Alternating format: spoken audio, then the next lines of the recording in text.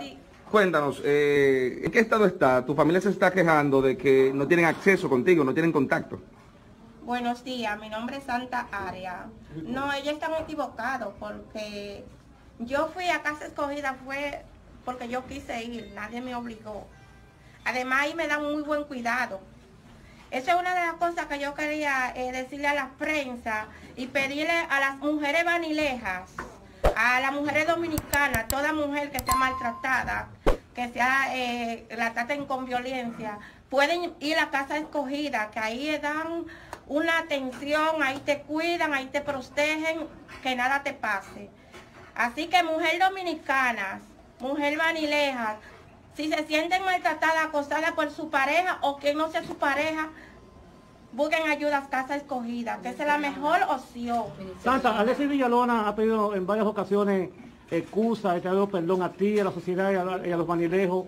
¿Cómo eh, tú eh, Acepta esta aceptas excusa. esa excusa? No, yo no acepto excusa. Porque él en el momento que me agredió, me golpeó fuertemente, él no pensó en que yo era una mujer.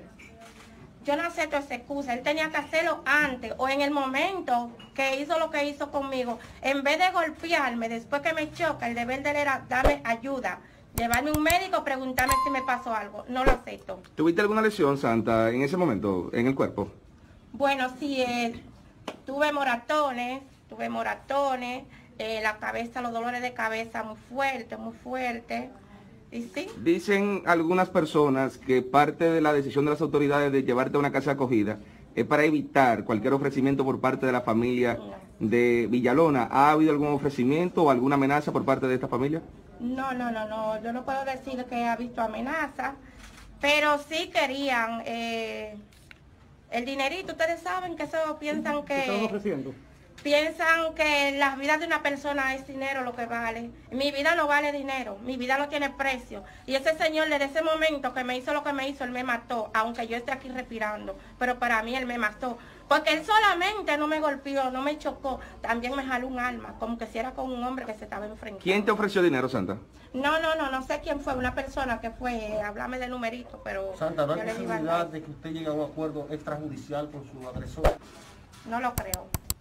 Usted va a llevar esto hasta las últimas consecuencias. hasta las últimas consecuencias. Según él se sintió siendo hombre, golpeando a una mujer, chocándola, agrediendo, dejándome inconsciente, en donde se va en su vehículo y me deja tirada.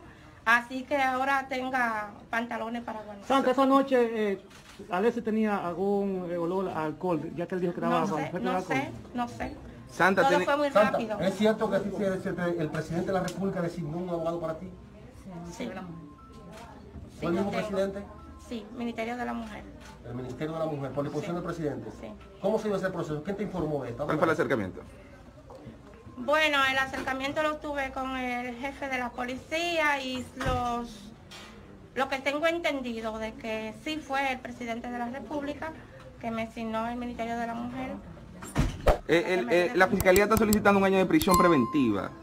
Eh, ¿Qué tú crees de esto? No sé. Eso yo no sé, eso solamente lo decide la jueza si lo cree conveniente. ¿Tu familia quiere eh, poner un abogado para ti? No está bien.